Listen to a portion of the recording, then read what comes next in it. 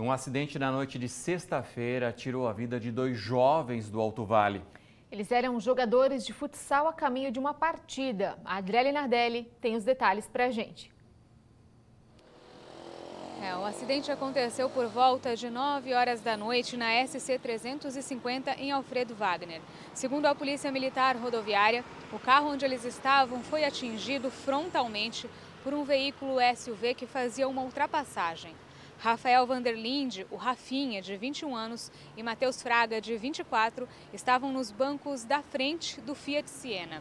Matheus, que era o motorista, chegou a ser levado ao hospital, mas não resistiu aos ferimentos. Rafinha já estava sem vida e preso às ferragens quando os bombeiros chegaram. No veículo estava também outro jogador, Matheus Boing, de 26 anos, que foi levado ao hospital com vários ferimentos, entre eles uma fratura no pé. Os atletas estavam a caminho de um jogo no município de Alfredo Wagner pelas quartas de final da Copa Terra Nova. Eles representavam a equipe amadora Vila Futsal de Rancho Queimado. Rafinha era também jogador do Rio do Sul Futsal, que está disputando a Série Prata do Campeonato Catarinense. Ele era natural de Salete, já Matheus Fraga era morador de Trombudo Central. Os dois foram sepultados no final de semana.